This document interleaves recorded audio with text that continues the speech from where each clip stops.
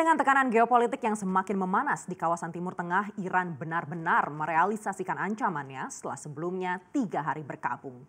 Garda Revolusi Iran mengonfirmasi serangan ke pangkalan udara gabungan Amerika Serikat dan Irak di Ain al-Azad, Irak Barat pada 8 Januari 2020.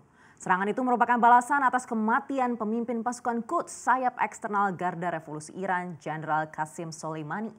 Juru bicara Gedung Putih, Stephanie Grisham, mengonfirmasi serangan itu dan menyebut Presiden Amerika Donald Trump telah diberi pengarahan dan sedang memantau situasi dengan cermat dan berkonsultasi dengan penasehat keamanan nasional.